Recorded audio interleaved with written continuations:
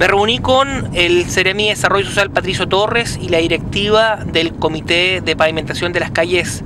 por Venir, integrada en su secretaría por la eh, dirigente Joana Garillanca, para poder aliarnos con el Ceremi y poder contar con su complicidad para agilizar lo máximo posible el futuro proceso de obtención del RS del proyecto de pavimentación de la calle Porvenir que está por eh, entrar al eh, gobierno regional. Así que feliz de la acogida y confiamos